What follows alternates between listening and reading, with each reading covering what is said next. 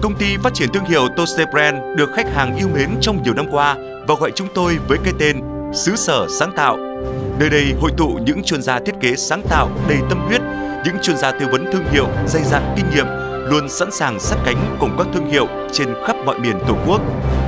Trên mỗi nẻo đường mà chúng tôi từng ghi dấu, có những ánh hào quang tỏa từ thương hiệu, có những nụ cười thành công của mỗi doanh nhân, có những niềm tin đặt vào chúng tôi không bao giờ vơi cạn. Từ những thương hiệu nhà hàng Du Enrich tại Paris cho đến những khách hàng từ Hà Nội như Luật Hà Trần, Vinaco, BCE, khách hàng tại tỉnh thành lân cận, tập đoàn xi măng Hải Dương, dược Chakuni Thái Bình,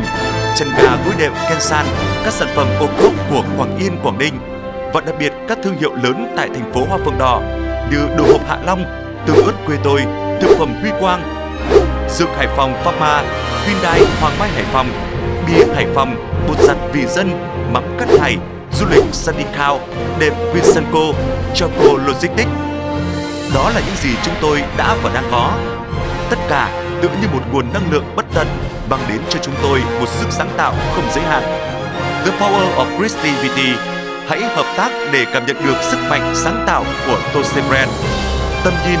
tập thể cán bộ công ty cùng nhau phấn đấu để trở thành công ty tư vấn phát triển thương hiệu hàng đầu của miền Bắc. Sứ mệnh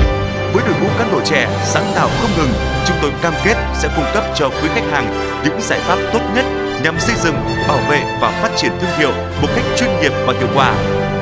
Bản sắc thương hiệu, tin cậy, chuyên nghiệp, trẻ trung, năng động và sáng tạo